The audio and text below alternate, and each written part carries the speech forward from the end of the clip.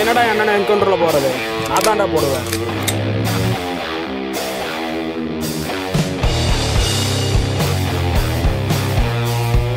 உன் அண்ணனை போலீஸ் பிடிச்சிட்டான்னு கேள்விப்பட்டு பதறி வந்தேன் தம்பி இங்க. பிளானியாவை எக்ஸிட் பண்ணுங்க. Yes sir